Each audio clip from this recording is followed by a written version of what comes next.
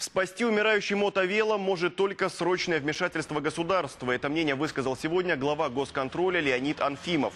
Посещая завод, главный контролер страны отметил, что новому директору досталось непростое наследство. Фактически остановленное производство, утраченные рынки сбыта и долги перед кредиторами.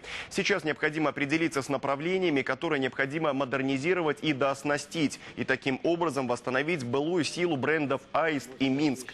К примеру, 20 миллионов долларов, взятые на развитие у Белинвестбанка, планируется реструктурировать. Однако у завода есть и другие задолженности. Больше 80% основных производственных площадей заложены в эти банки под взятые кредиты.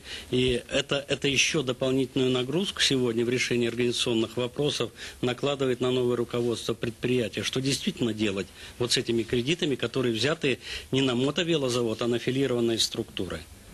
АТЭКа, не, моло- не мотовелозавода АТЭКа.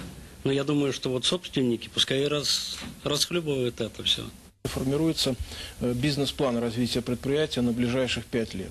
Ну и в этом плане должны будут найти отражение те задачи, которые поставлены руководством страны. И президент об этом в 2013 году, посещая предприятие, говорил о том, когда оказывал поддержку инвестору, о том, что это если в случае он не обеспечит выполнение тех задач которые, условий, которые перед ним поставлены, то говорит, государство это предприятие не оставит. Напомню, еще на прошлой неделе глава государства одобрил назначение Николая Ладудько на пост нового директора «Мотовела». Бывший мэр Минска поможет предприятию опытом, наработками и свежими идеями. Как заявил Леонид Анфимов, после направления главе государства докладной записки о ходе выполнения его поручений планируется создание республиканской комиссии по спасению предприятия. В нее войдут представители правительства, Министерства промышленности, исполнительных властей столицы и банков.